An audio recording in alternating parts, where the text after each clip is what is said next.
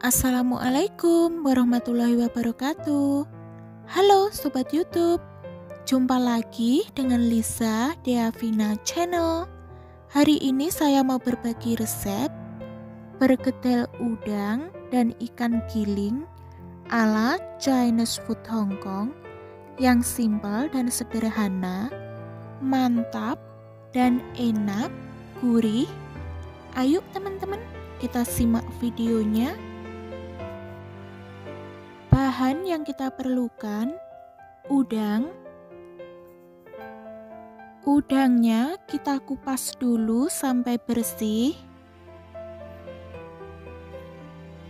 Setelah dikupas, di bagian punggungnya kita bersihkan kotorannya dan dicuci sampai bersih. Setelah bersih, kita cincang kasar atau menurut selera kita. Kita siapkan pula water chestnut, dikupas sampai bersih, dan dicuci pula.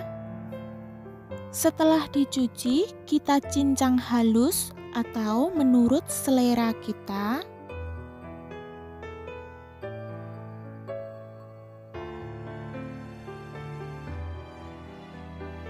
Kita siapkan juga daging ikan giling dan daun bawang. Daun bawangnya kita potong kecil-kecil seperti ini ya teman-teman. Setelah bahannya sudah siap, kita ambil daging ikan giling ke dalam mangkok, tambahkan udang cincang, water chestnut cincang, daun bawang,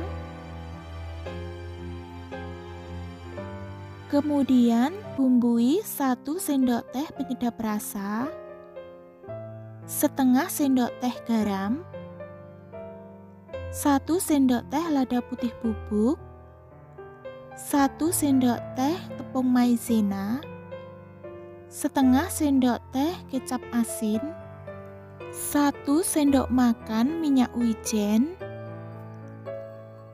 Kemudian aduk sampai merata supaya bumbu-bumbunya tercampur semuanya dan diamkan selama 10 menit.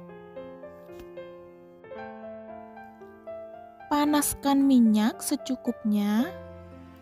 Setelah minyak panas, goreng dengan cetakan adonan perkedelnya atau menurut selera kita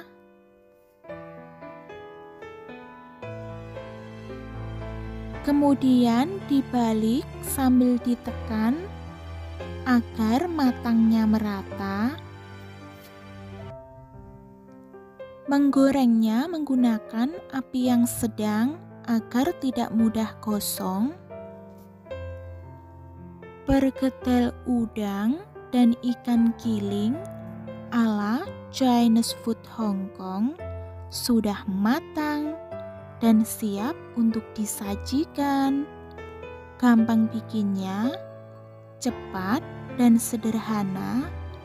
Selamat mencoba. Wassalamualaikum warahmatullahi wabarakatuh.